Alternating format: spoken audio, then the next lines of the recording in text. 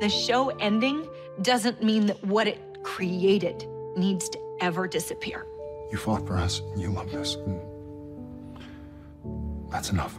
I really hope that the fans are really satisfied with the finale. It was us. There's been so much care going into this last season. The blood, the sweat, the tears.